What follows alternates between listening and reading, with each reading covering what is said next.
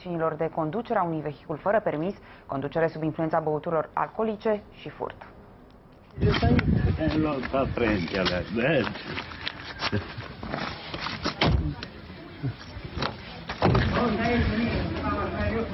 Un tânăr de 18 ani a vrut adrenalină și a avut parte de ea. Băut bine, băiatul a furat o mașină din fața unei case din localitatea Repedea. Nu a ținut cont de faptul că nu are permis și a pornit la drum. Numai că graba și aburii alcoolului i-au oprit brusc plimbarea într-o casă din localitatea Petrova. Speriat, a fugit de la locul accidentului cu intenția de a ajunge la Sighetul Marmației. Un localnic a sesizat poliția care a început cercetările. La scurt timp, oamenii legii au oprit în trafic o mașină pentru control. În ea erau trei persoane. În cele din urmă, un tânăr de 18 ani a recunoscut că el este autorul accidentului. El a declarat că într-o curbă la dreapta, încercând să evite un câine, a pierdut controlul volanului, a ieșit de pe șosea, a lovit un gard, apoi un podeț și s-a oprit în peretele unei case. Tânărul a fost testat cu aparatul etilotest, rezultatul înregistrat fiind de 0,68 mg la litru alcool pur în aerul expirat. Pe numele tânărului de 18 ani a fost întocmit dosar penal.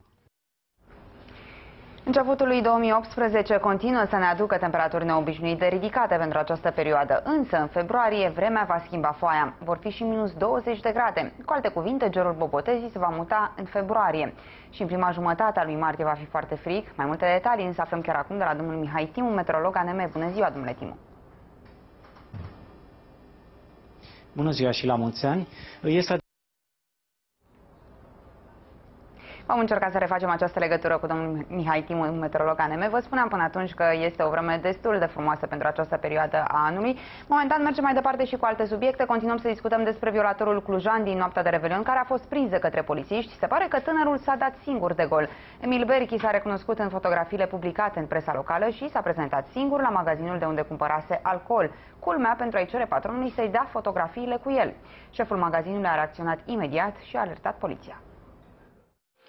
Primele imagini cu suspectul violului din noaptea de Revelion nu au fost foarte clare, astfel că procurorii cred că agresorul a preferat să stea retras trei zile sperând că astfel nu va fi găsit. Însă, ghinion, după aproape trei zile de căutări disperate, polițiștii clujeni au reușit să pună mâna pe bărbatul care a violat-o pe o tânără de 16 ani chiar în noaptea dintre ani. Bărbatul a fost reținut în cursul dimineții chiar în magazinul alimentar unde fusese și în seara violului. Emil Berchi s-a recunoscut în fotografiile publicate în presa locală și a mers glonț la supermarketul de unde își cumpărase alcool. Individul nervos până peste măsură i-a cerut patronului să-i dea fotografiile cu el, însă omul nu l-a ascultat și a sunat imediat la 112. În doar câteva minute polițiștii au venit să-l ridice pe violator. Când a văzut că este încolțit, Emil Berchi a susținut că el este victimă în acest caz și că este absolut nevinovat, dar pus față în față cu dovezile, a recunoscut. Acesta a bătut și violat o adolescentă chiar în noaptea de Revelion. Fata a plecat de la un club din centrul Clujului, însă nu a mai găsit taxiul liber, așa că a mers pe jos spre casă. Agresorul a urmărit-o și ce a urmat a fost un adevărat coșmar. Pentru fapta sa, clujanul riscă să stea ani buni după gratii.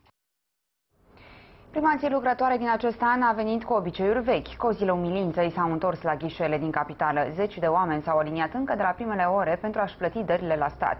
Oamenii se arată foarte iritați de acest lucru. Indiferent de vreme, în primele zile ale noului an, cei mai conștiincioși dintre bucureșteni și în special bătrânii formează cozi interminabile în fața ghișeilor pentru a-și plăti din timp taxele și impozitele. De data aceasta, coada a ajuns până în curtea instituției. Oamenii s-au trezit cu noaptea în cap pentru a-și plăti taxele și impozitele. De cât timp așteptați la coadă? De vreo două ori. Și mai aveți de așteptat? Încă vreo trei ori. Fiecare dată se întâmplă lucrul ăsta? nu știu că n-am mai venit până acum, dar sunt foarte fericit că mă aflu în această zi aici. Sunteți ironic. Nu, ăsta e adevărul. N-aveam ce să fac acasă.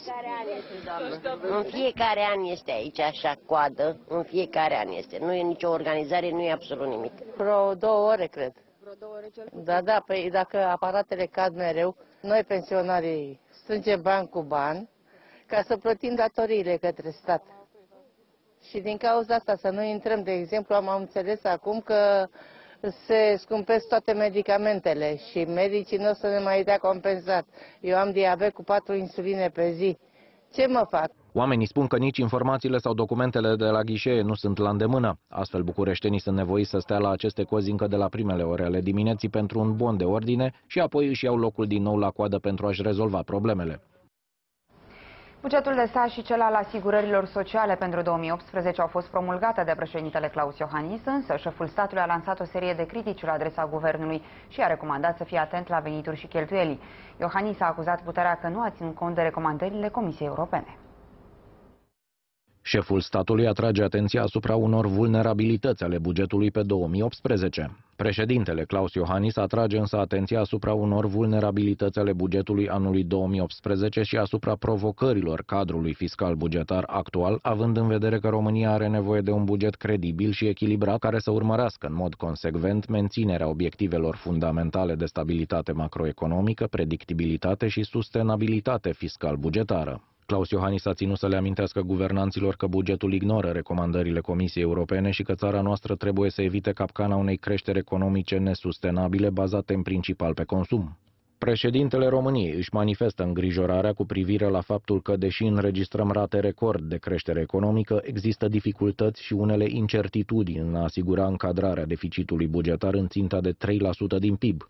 Totodată, țara noastră înregistrează cele mai ample deviații ale deficitului structural dintre toate țările Uniunii Europene. De altfel, nu este prima dată când Iohannis atacă dur viziunea fiscală a guvernului PSD. În urmă cu două luni, Iohannis a criticat dur așa zisa revoluție fiscală a lui Tudose. Acest pachet, după părerea mea, nu este clamata revoluție fiscală, ci cred că se va transforma într-o bulversare fiscală Chiar putem să ne întrebăm cui folosește această țopăială fiscală. Românilor, sigur, nu. Avertizez la modul cel mai serios decidenții politici să aibă grijă și să judece clar la rece, ca să nu bage România și pe români într-o aventură economică, fiscală, cu final trist. Șeful statului mai afirmă că prioritatea guvernului trebuie să fie îmbunătățirea colectării veniturilor fiscale. Un alt lucru asupra căruia atrage atenția Claus Iohannis este necesitatea investițiilor. Astfel, președintele Claus Iohannis consideră că actuala coaliție de guvernare PSD-ALDE are obligația de a răspunde așteptărilor românilor ca țara noastră să aibă un buget credibil și sustenabil.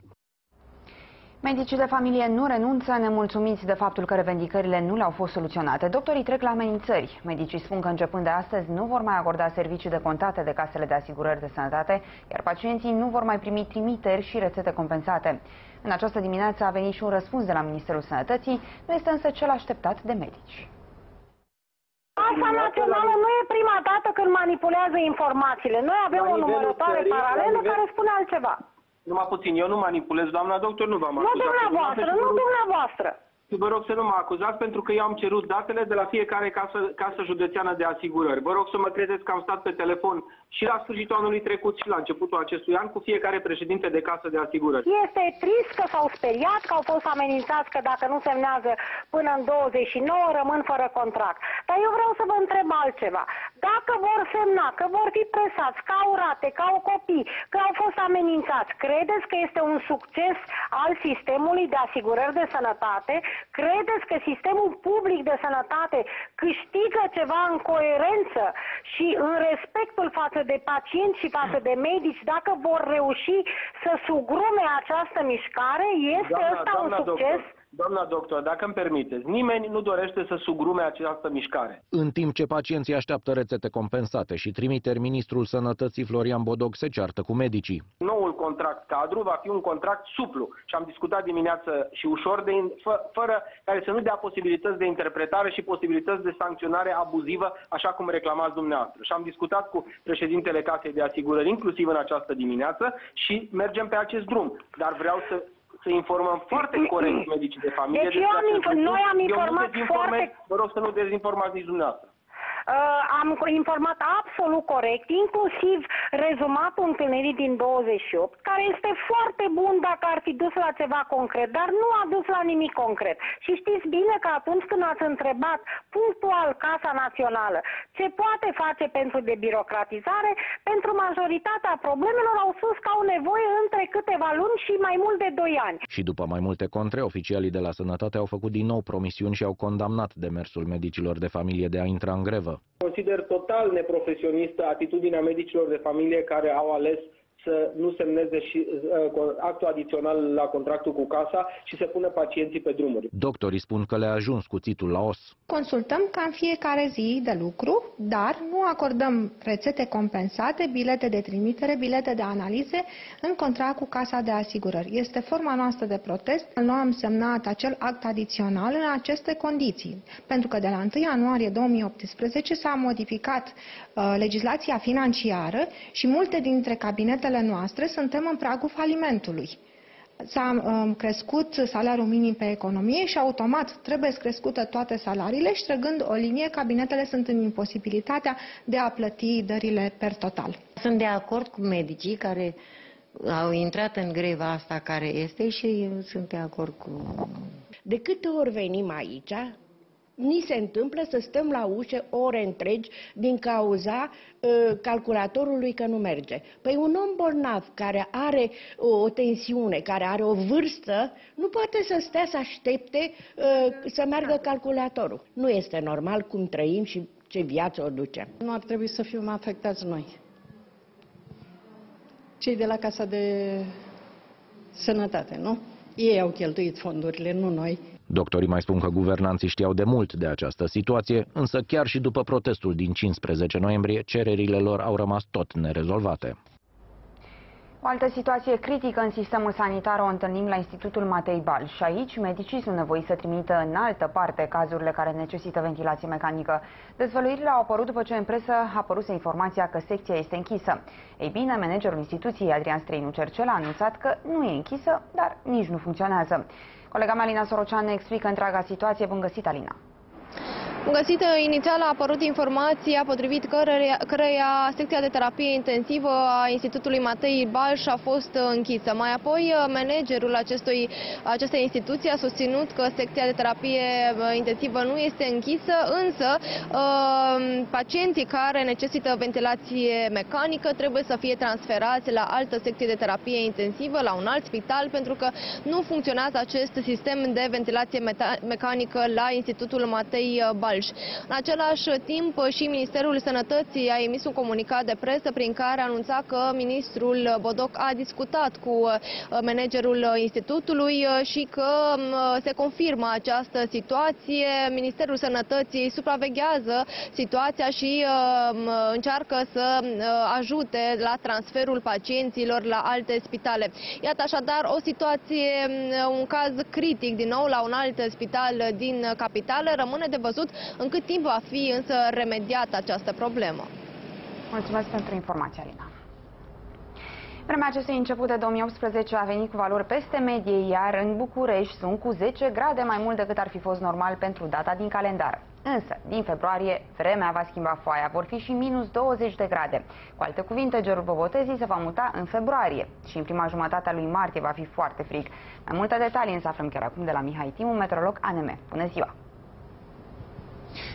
Bună ziua și la mulți ani din nou. Este adevărat că astăzi și mâine temperaturile sunt un pic mai ponderate, dar încă peste cele normale, însă din ajunul Bobotezei, eh, din nou, vremea se va încălzi. Practic, de Bobotează și de Sfântul Ion, la fel cum au fost și celelalte sărbători, ajungem din nou la o vreme de primăvară deosebit de caldă, în sensul că la sfârșit de săptămână, eh, pe partea de vest și de sud a țării, în mod frecvent, se vor atinge și chiar depăși la amiază valori de 14-15 grade cu plus, cum spuneam, în condițiile unui cer mai mult senin. Însă sunt de asemenea și indicații că undeva după data de 10 decembrie o masă de aer mai rece cu, uh, de natură polară spre Arctică chiar va coborâ pe partea de nord, parțial și pe centrul și pe estul Europei și se va apropia și de zona geografică a țării noastre și s-ar putea să intre uh, în contact și cu un aer mai umed, ceea ce înseamnă uh, precipitații. De ce posibil undeva până în jurul datei de 15 uh, ianuarie să avem și fenomene de iarnă în zonele mai joase unde până acum au lipsit.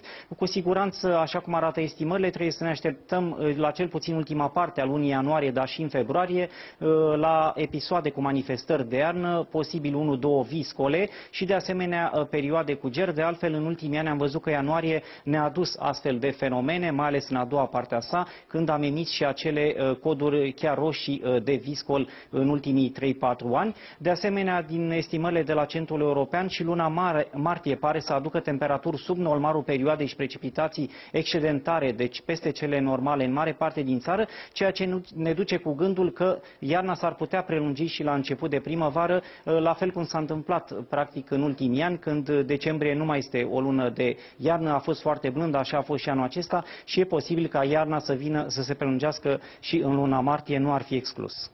Mulțumim foarte mult pentru aceste precizări, așadar, iată, sărbătorile de iarnă au trecut și toată lumea începe ușor, ușor să-și intre în ritmul obișnuit. Am ascultat și prognoza metovenită de la specialiști. Știm la ce să ne așteptăm în perioada următoare. Chiar 15 grade Celsius se vor înregistra în zilele următoare, cu alte cuvinte, vreme de primăvară la începutul lui ianuarie. Problema este că acest început de an nu este la fel, cel puțin din punct de vedere al politicii românești. Fostul președinte al Camerei Deputaților, Valeriu Zgonea, a fost trimis în judecată în dosarul în care este acuzat de trafic de influență. Colega mea, Gabriela Mihai, vine cu mai multe detalii. Bun găsit, Gabi, despre ce este vorba mai exact. Bun găsit. Mai exact, procurorii anticorupție susțin că Valeriu Zgonea, în perioada 2012-2013,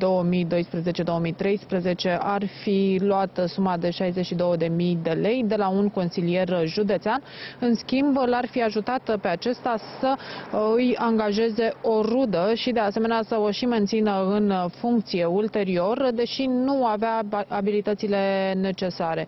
Iată așadar că procurorii anticorupție l-au trimis în judecată pe fost fostul președinte al Camerei Deputaților și interesant de menționat ar fi faptul că um, consilierul județean deja a făcut un acord de recunoaștere cu uh, procurorii anticorupție. Vom vedea așadar dacă Valeriu Zgonea atunci când va ajunge în fața magistraților va pleda nevinovat sau uh, va merge pe procedura simplificată, adică pe recunoașterea vinovăției.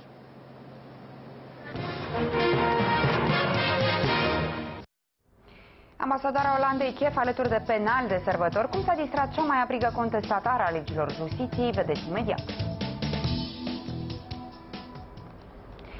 Accident spectaculos pe DN1 pe sensul de mers București-Ploiești. Două persoane au fost rănite după ce șoferul unui autovehicul nu a acordat prioritate și a intrat în plin într-o mașină care circula regulamentar. La fața locului au sosit și echipajele de descarcerare, iar traficul a fost paralizat o bună bucată de timp.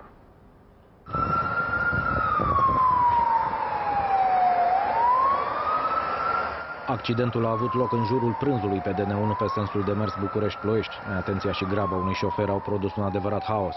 Un auto care circula din sensul București-Ploiești nu a acordat o prioritate și a rezultat un accident rutier din care două victime, de la primele verificări, victimele sunt rănite ușor, dar uh, în urma accidentului s-a creat un ambuteaj. La fața locului au ajuns mai multe echipaje de salvare, printre care și un echipaj de descarcerare pentru a scoate dintre fiarele mașinii una dintre victime. Cei doi șoferi au fost testați de către polițiști, iar rezultatul a ieșit negativ. Din fericire, cele două victime nu s-au ales cu răni grave, însă în urma accidentului, drumul spre aeroportul Otopeni a fost paralizat. Mulți oameni care se îndreptau spre aeroport la această oră au pornit pe jos cu bagajele în încercarea de a prinde zborurile. Vacanța de coșmar pentru un grup de turiști români din Timișoara. Oamenii au mers într-o stațiune din Serbia să petreacă revelionul și au rămas fără mașini. Turiștii și-au lăsat autoturismele în parcarea hotelului unde erau cazați, dar acestea fie au dispărut, fie au fost sparte.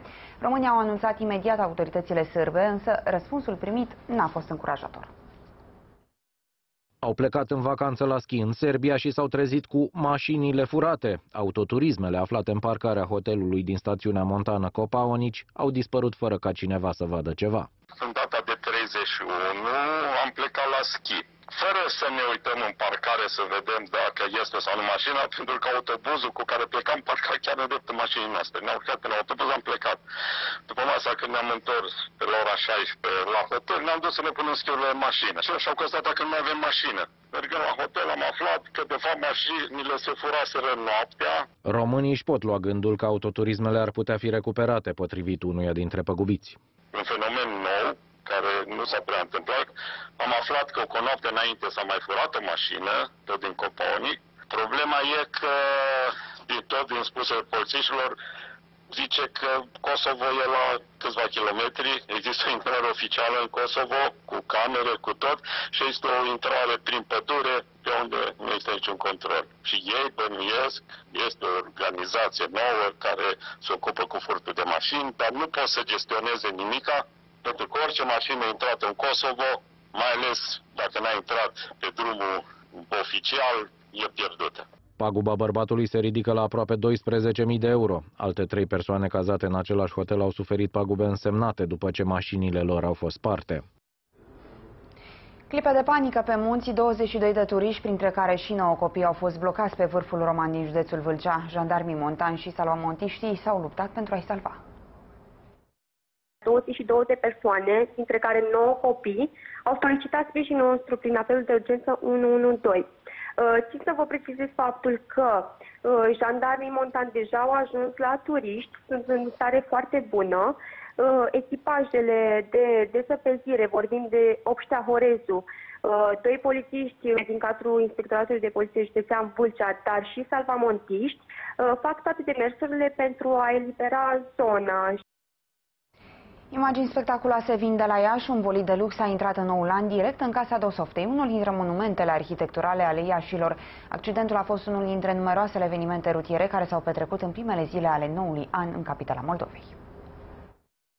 Pe imagini se vede cum șoferul bolidului BMW pierde controlul volanului și intră în plin în coloanele casei Dosoftei. Martorii susțin că șoferul se luase la întrecere la semafor cu un alt autoturism. Pentru neadaptarea vitezei la condițiile de circulație, polițiștii au făcut cadou de anul nou o amendă de 850 de lei. De altfel, a fost un revelion însângerat la Iași. Cu câteva minute înainte de trecerea în noul an, un accident de circulație s-a produs în localitatea Moțca din județul Iași, soldat cu decesul unei persoane. Șoferul a părăsit locul accidentului accidentului după ce a călcat victima cu mașina. El a fost găsit în prima zi din noul an. În urma verificărilor efectuate în bazele de date, s-a descoperit că avea permisul de conducere reținut. Tânărul a fost reținut și urmează să fie trimis în judecată pentru ucidere din culpă. De asemenea, chiar în prima zi a anului 2018, un bărbat în vârstă de 35 de ani și-a pierdut viața într-un accident rutier produs în Copou. Din cauza vitezei neadaptate la condițiile de mers, a pierdut controlul volanului și a intrat frontal într-un aranjament din beton poziționat pe mijlocul străzii. Impactul a fost unul extrem de violent, iar bărbatul în vârstă de 35 de ani a fost proiectat câțiva metri prin parbriz. Câțiva martori au sunat la numărul de urgență 112 și au cerut ajutorul medicilor. Un echipaj a ajuns imediat la fața locului și l-au găsit pe șofer inconștient.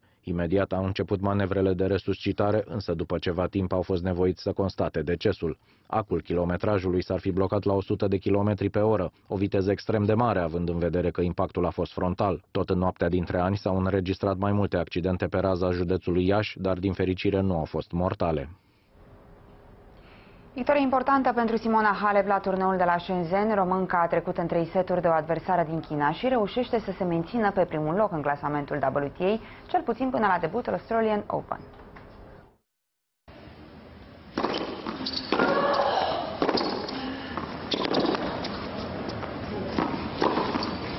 Simona Halep a trecut cu ceva emoții în optimile turneului de la Shenzhen de jucătoarea chineză Ying Ying Duan. Halep a pierdut primul set cu 6 la 3, dar le-a câștigat pe următoarele două destul de lejer cu 6 la 1 și 6 la 2. Victoria Simonei și calificarea în sferturi înseamnă foarte mult pentru jucătoarea noastră care este sigură că la Australian Open primul turneu de Grand Slam al anului va fi principala favorită. Va fi pentru prima dată când românca va fi favorita numărul 1 la un turneu de Grand Slam. La începutul anului Halep se duela cu Muguruza și Wozniacki pentru primul loc WTA. Iberica a abandonat la Brisbane, în timp ce daneza a fost scoasă din cărți de rezultatele româncei. Halep nu trebuia să ajungă în sferturi, iar Wozniacki trebuia să câștige la Auckland pentru ca daneza să fie numărul 1 WTA începând de săptămâna viitoare. În sferturile de la Shenzhen, Halep o va întâlni pe bielorusa Arina Shabalenka. De asemenea, Simona face echipă cu Irina Begu la turneul de dublu unde s-au calificat în semifinale după o victorie în fața unui dublu format din alte două românce, Mihaela Buzărnescu și Irina Bara. Elena Udrea a lansat un atac furibund la adresa celor care o acuză de corupție. Fostul ministru al dezvoltării a numit lichele pe cei care activează în presă sau în politică, pe care i-a ajutat în carieră și care acum arată cu degetul spre ea. Într-un mesaj postat pe rețelele de socializare, Elena Udrea spune că ar fi preferat să rămână în atmosfera de liniște și pace a sărbătorilor, dar nu mai poate rămâne indiferent la mizerile unora și a decis să le transmită un mesaj. Măi lichelelor, ați uitat când lingeați clanța să vă sprijin să luați funcții în partid? Că de proști și corupți ce erați, v-ați dat partidul la o parte, de la ANAF, spre exemplu, să vă susțin candidaturile pe la primăriile de sectoare, spre exemplu, să vă financeze cocoși pe unii în politică, pe alții în presă. Voi, niște nulități ipocrite, vorbiți de mine astăzi? Eu am dosare penale și sunt coruptă pentru că v-am plătit vouă prestația politică prin campanii sau salariile de jurnaliști, de ontologi. Hashtag rezist acum, a scris Udrea.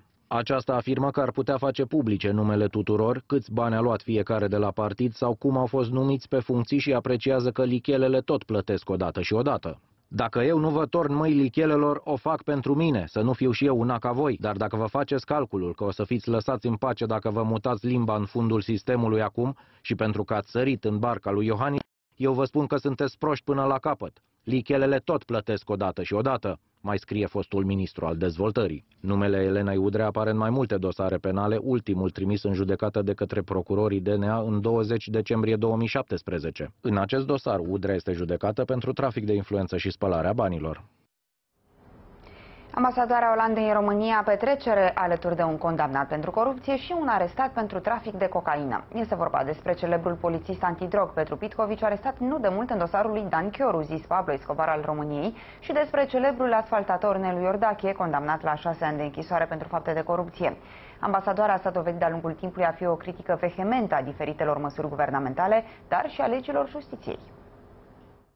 Ambasadoarea Olandei a petrecut noaptea dintre ani la un celebru hotel din Poiana Brașov. Până aici nimic curios, însă dacă vorbim de persoanele în compania cărora a petrecut Stella Roner Grubacic, lucrurile se schimbă. Încă din seara zilei de 30 decembrie, grupul a atras atenția. S-au simțit bine, au râs, au glumit, ca orice oameni în concediu.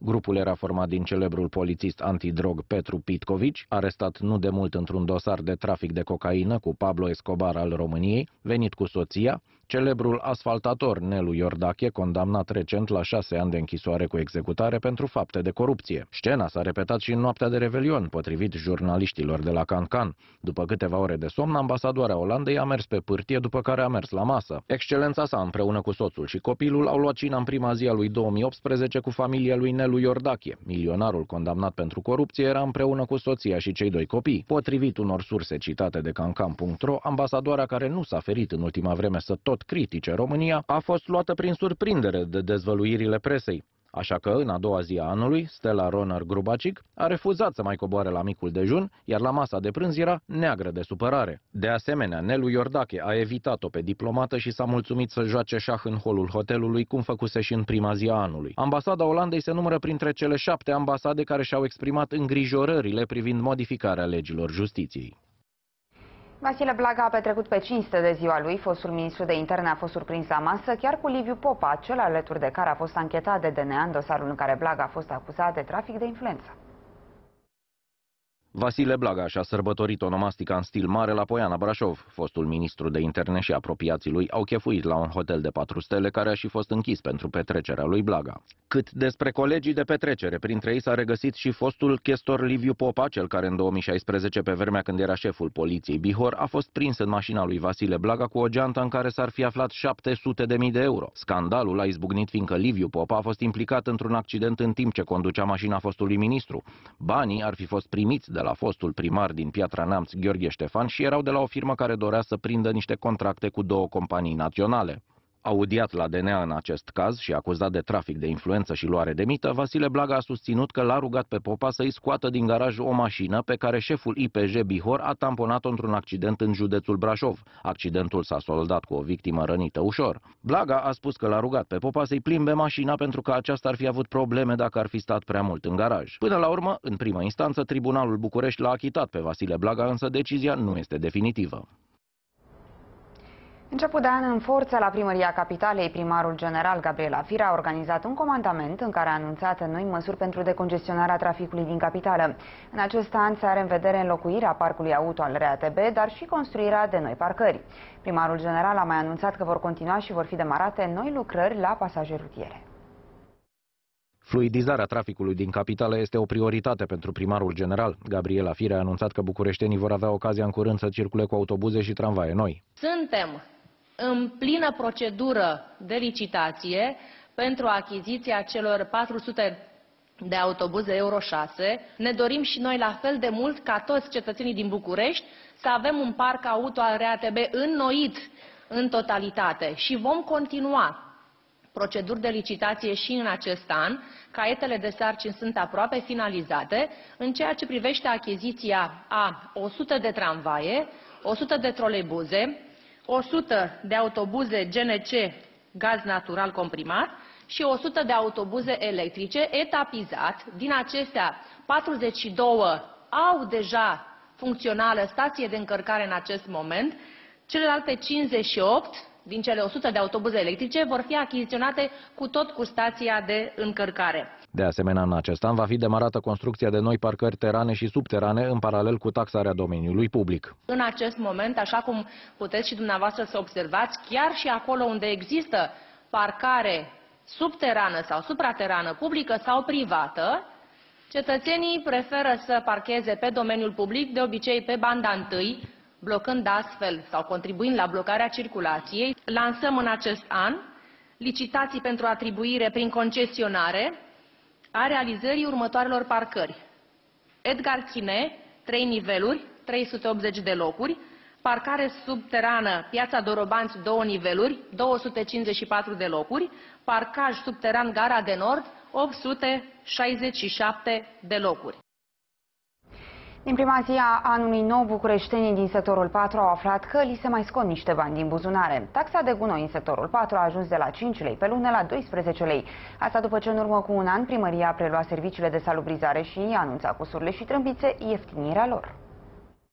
Mai toți primarii de sector din București au promis în campania electorală că taxa de salubritate va fi gratuită. Când au ajuns însă pe fotolile de primar, au uitat. Așa că taxa de gunoi nu numai că nu a fost redusă, ci a fost majorată, iar în unele cazuri a fost mai mult decât dublată. Așa se întâmplă în sectorul 4 al capitalei, unde primarul Daniel Băluță a dus valoarea taxei de salubrizare la 12 lei de persoană pe lună, față de 5 cât era până acum. Pentru persoanele juridice, taxa va fi de 80 de lei pe lună. În plus, taxa trebuie plătită o singură dată integral la Direcția Generală de Taxe și Impozite a sectorului 4. Astfel, o familie cu patru persoane ar trebui să scoată din buzunar 600 de lei pe an printr-o singură semnătură a primarului. Daniel Băluță face însă și o concesie pentru persoanele fizice care plătesc cu anticipație taxa de salubrizare pentru tot anul. Până la data de 31 martie se va acorda o reducere de 20%. Iar Olguța Vasilescu e departe de nemulțumirile românilor la propriu. Ministrul muncii se răsfață fără nicio problemă, tocmai în Cuba. Tensiunile dintre Corea de Nord și SUA au atins noi cote. Cu ce s-a lăudat președintele american Donald Trump a aflat imediat după o scurtă pauză de publicitate. Rămâneți cu noi, revenim în câteva minute. Ne-am întors, continuăm știrile cu informații externe. Acum, un moment neplăcut pentru familia Schumacher, un așa zis prieten al legendarului pilot de Formula 1, iar fi făcut acestuia o poză în patul din casa din Elveția, unde se recuperează. Individul a încercat apoi să vândă fotografia cu peste un miliard de euro. Schumacher's going for the lead at the Roja, heading right up alongside and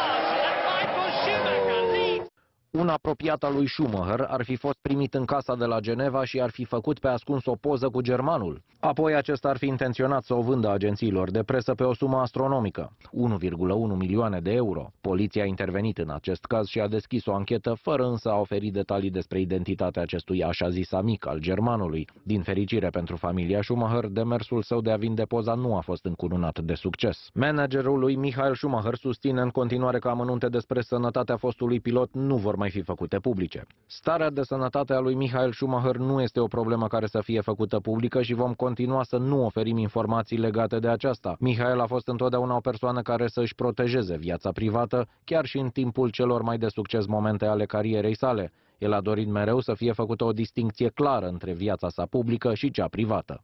La finalul lunii decembrie s-au împlinit patru ani de la teribilul accident suferit la schi de Michael Schumacher, în urma căruia septuplul campion mondial de Formula 1 s-a ales cu leziuni severe la nivelul creierului. După ce a fost externat în urma accidentului de pe pârtia de la Meribel, Michael Schumacher și-a continuat recuperarea într-o locuință din apropierea lacului Geneva, din Elveția. Informațiile cunoscute până în prezent despre starea pilotului indică faptul că starea acestuia nu s-a îmbunătățit mult în ultimii patru ani. Caz revoltător în China, o doctoriță de 43 de ani a murit în fața pacientului pe care îl trata după ce a muncit 18 ore fără oprire. Femeia a suferit un infarct și nu a mai putut fi salvată de colegii ei care i-au sărit imediat în ajutor.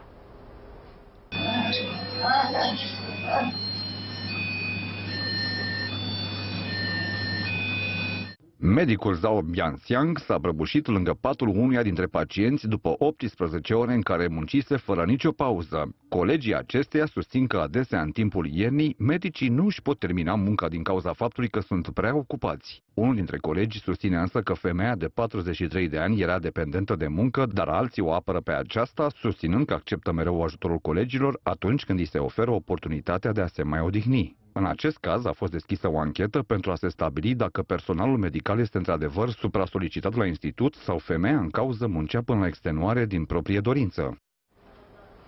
Donald Trump răspuns dur pentru Kim Jong-un, liderul de la Casa Albă i-a transmis omologului său nord-corean că butonul său nuclear este mai mare și mai puternic și că nu este teamă de o acțiune nucleară a regimului său. După ce liderul nord-corean a anunțat că are un buton nuclear pe masă pregătit să fie activat la orice oră, Donald Trump nu s-a lăsat mai prejos și a continuat războiul declarațiilor cu rivalul său. Magnatul s-a lăudat cu dimensiunea butonului său. Liderul nord-corean Kim Jong-un tocmai a declarat că butonul nuclear este tot timpul pe biroul său. Să-i transmită, vă rog, cineva din regimul său vlăguit și înfometat că și eu am un buton nuclear, dar este unul mai mare și mai puternic decât al său, iar butonul meu funcționează. Trump a obișnuit lumea întreagă cu ironiile sale și amenințările la adresa lui Kim, însă de această dată e pentru prima dată când ele nu survin ca urmare a unei acțiuni concrete a Coreei de Nord. Cu toate acestea se zvonește că un nou test balistic ar putea avea loc în viitorul apropiat în statul peninsular. Anterior, Kim Jong-un a spus într-un discurs televizat că întreg teritoriul american se află în raza de acțiune a armelor nucleare nord-coreene, astfel că Statele Unite nu vor putea să înceapă războiul. Între timp, Kim Jong-un pare dispus la dialog cu vecinii din Sud. Dictatorul nord-corean a dat ordin pentru a redeschide o linie telefonică directă, închisă de mult timp, cu Corea de Sud. Statele Unite nu par impresionate de această decizie și consideră Corea de Nord în continuare un pericol. Corea de Nord a anunțat că va redeschide canalul de comunicare intercorean la o zi după oferta de dialog la nivel înalt făcută de Seul. Surse oficiale nord-coreene indică faptul că discuțiile vor avea ca scop stabilirea unui dialog oficial despre trimiterea unei delegații nord-coreene la Jocurile Olimpice de iarnă de la Pyeongchang în luna viitoare. Conducătorul nord-corean ar fi salutat de asemenea sprijinul acordat de Seul propunerii sale de pace. Drept răspuns, Seulul a propus organizarea unor convorbiri la nivel înalt la 9 ianuarie în localitatea de frontieră frontieră unde a fost semnată încetarea focului în timpul războiului Coreei. Cu toate acestea, ambasadoarea americană la ONU, Nikki Haley, a respins perspectiva unor negocieri între Corea de Nord și Corea de Sud ca fiind o simplă cârpeală și a avertizat că Washingtonul nu va accepta niciodată o Coree de Nord dotată cu armă nucleară. Noi considerăm acest regim foarte periculos. Statele Unite nu vor lua în serios nicio întrevedere dacă ea nu se referă la interzicerea armelor nucleare în Corea de Nord. Anterior, Nikki Haley susținea că este gata să obțină noi sancțiuni la adresa regimului nord-corean în cazul în care statul recurge la noi testări de armament. Surse oficiale susțin că un nou experiment balistic în Corea de Nord ar putea avea loc până la finalul lunii ianuarie. Mike Tyson vrea să redevină numărul 1, dar nu în box. Fostul pugilist de categoria grea își propune să cucerească piața legală de cannabis după ce consumul de marihuana a fost legiferat în statul California la începutul acestui an. Pentru a produce marihuana de cea mai bună calitate, Tyson a achiziționat o proprietate cu o suprafață de peste 16 hectare situată în deșertul Californiei. Terenul este la 100 de kilometri distanță de Valea Morții, unul dintre cele mai aride locuri de pe planetă. Fostul pugilist va folosi jumătate din acest teren pentru cultivarea cannabisului într-un mediu special amenajat. În restul de 8 hectare va funcționa o școală unde crescătorii de cannabis vor fi învățați tainele și metodele de ultimă generație pentru cultivarea plantei. Mike Tyson susține cu tărie medicina naturalistă și are încredere în efectele benefice de vindecare a anumitor boli foarte grave printr-un consum bazat pe prescripție medicală de marihuana. Ferma lui Mike Tyson se va axa mai mult pe cercetare în acest domeniu. Aici vor fi studiate și testate efectele benefice ale marihuanei. Tyson vrea ca ferma lui să contribuie în special la tratarea bărbaților și femeilor care suferă de afecțiuni psihologice dobândite în urma serviciului militar. Consumul de cannabis în scop recreațional a fost legalizat și în California începând din 1 ianuarie. Asta înseamnă că persoanele care au împlinit 21 de ani pot cumpăra până la 28 de grame de cannabis odată și pot crește până la 6 plante de marihuana acasă. Scandal la Google, dezvăluiri recente arată că în 2016 compania americană ar fi transferat în mai puțin de 16 miliarde de euro în paradisul fiscal din insulele Bermude pentru a plăti taxe mult mai mici. Informațiile făcute publice de jurnaliștii olandezi arată că pentru a economisi în anul 2016 taxe de cel puțin 3,7 miliarde de dolari, compania deținută de grupul Alphabet se folosește de două structuri cunoscute sub numele de Double Irish și Dutch Sandwich. Aceste structuri implică transferarea veniturilor dintr-o subsidiară irlandeză într-o companie olandeză care nu are angajați, iar de acolo într-o cutie poștală din insulele Bermude deținută de o altă companie înregistrată în Irlanda. Google se apără și susține că toate acțiunile acțiunile sale sunt în conformitate cu legile în vigoare. Plătim toate taxele datorate și respectăm legislația fiscală din fiecare țară din lume în care desfășurăm activități. Rămânem dedicați să contribuim la dezvoltarea ecosistemului online. Google Ireland încasează majoritatea veniturilor internaționale din publicitate ale companiei, iar apoi transferă banii la subsidiara olandeză Google Netherlands Holdings. Compania olandeză transferă apoi banii către Google Ireland Holdings Unlimited, care are dreptul să acorde licențe de proprietate intelectuală în afara Statelor Unite. Compania respectivă este stabilită în Bermude, unde nu se plătește impozit pe profit. Google este presată de instituțiile de reglementare și de autoritățile guvernamentale ale unor state din toată lumea pentru că nu plătește taxe taxe suficiente. Guvernul irlandez a modificat în 2015 legislația fiscală, astfel încât aranjamentele fiscale de tip Double Irish să nu mai fie posibile, dar companiile care folosesc structura respectivă pot continua să o facă până la sfârșitul lui 2020. Profitul total înainte de taxe obținut de Google în străinătate a fost la sfârșitul lui 2016 de 60,7 miliarde de dolari. Incendiu devastator în New York, cel puțin 23 de oameni au fost răniți după ce flăcările izbucnite la un magazin de mobil au cuprins o clădire de apartamente cu patru etaje din cartierul Bronx.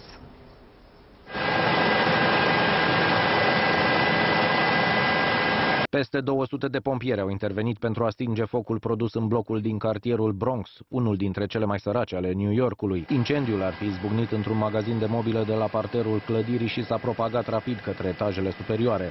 Intervenția a fost mult îngreunată de vânt, dar și de temperaturile deosebit de scăzute care înghețau apa. I woke up to the smoke alarms. Everybody's smoke alarms was going off, and and then I'm like, what is that? So I ran to my neighbor here. Get out! Get out! It's on fire! Toate persoanele care au avut nevoie de îngrijiri medicale se află în stare stabilă, însă mai mulți dintre răniți au fost internați în spital. Printre aceștia se numără și șapte copii. Pagubele incendiului și cauza producerii acestuia nu au fost stabilite cu exactitate. I feel horrible. It's not a good way to start the year with my children. I have a five-year-old that's right now asking me, are we homeless? Acest incendiu are loc după ce săptămâna trecută 12 persoane, printre care și patru copii, au murit după ce un alt bloc din Bronx a fost cuprins de flăcări. Încă o femeie hotărâtă să-i pună bețe în roate lui Putin, o jurnalistă musulmană a decis să intre în cursa pentru alegerile prezidențiale din luna martie, pentru care șeful de la Kremlin rămâne însă în continuare mare favorit. Posibila viitoare contracandidată a lui Vladimir Putin este șefa celui mai mare holding media musulman din Rusia, dar și soția muftiului șef din Dagestan. Aceasta și-a depus deja actele de înregistrare la Comitetul Electoral Central, fiind nominalizată drept candidată la prezidențiale de un grup local de inițiativă din Republica Dagestan. Pentru ca această candidatură să fie valabilă, jurnalista de 46 de ani va trebui să strângă 300.000 de, de semnături din toate regiunile Rusiei, întrucât ea urmează să candideze drept independentă. Candidat candidații care reprezintă partide parlamentare nu au nevoie de semnături, în timp ce candidații partidelor neparlamentare au nevoie să adune 100.000 de semnături. Prima candidată musulmană din istoria Rusiei nu și-a dezvăluit programul electoral, făcând doar apel la unitate națională și coeziune. Mai multe femei s-au înscris deja pentru lupta prezidențială din 2018, cea cotată cu cele mai mari șanse fiind prezentatoarea TV Xenia Sobchak. Vladimir Putin rămâne însă de departe cel mai mare favorit la aceste alegeri și să continue cu un nou mandat mandat la Kremlin. Este timpul pentru informațiile meteo. Acum cerul este înorat în majoritatea țării, însă temperaturile vor fi în continuare neobișnuit de ridicate pentru această perioadă. Mai multe informații aflați chiar acum din rubrica meteo. La noapte cerul va fi înorat, iar ploile se vor instala în majoritatea regiunilor. În Banat va ploua, în Crișana vor fi precipitații mixte și vor fi mai ales ninsori și Lapoviță în Maramureș, în cea mai mare parte a Transilvaniei, dar și în nord-vestul Moldovei, zona unde vor fi posibile depuneri de polei. În vestul și nordul țării, minimile nu vor depăși 2 grade Celsius. Maximele vor fi cuprinse între 5 și 8 grade Celsius în centrul și sudul țării. Mâine vremea rămâne rece, cerul va fi acoperit de nori și sunt așteptate ninsori sori slabe în zonele montane, precipitații mixte pe arii restrânse Maramureș, estul Transilvaniei și dealurile subcarpatice din Moldova. În regiunile de sud și de nord-vest sunt așteptate ploi slabe, iar vântul va sufla slab și moderat. În sudul țării, temperaturile vor fi cuprinse între 0 și 7 grade, iar pe litoral și în centrul țării, maximele vor ajunge la 9 grade Celsius. La noapte, în capitală, cerul va fi norat, iar minima va fi de 1 grad. Mâine în București vor fi condiții de ceață, iar vântul va sufla slab până la moderat. Temperaturile vor urca până la 7 grade Celsius. La munte, temperaturile se vor menține mai ridicate decât ar fi normale pentru începutul lunii ianuarie. Cerul va fi temporar noros, iar local vor mai fi nisori slabe. În masivul Ceahlău se vor înregistra minus 5 grade, iar în Poiana Brașov și Predeal valorile termice vor urca până la 1 grad Celsius.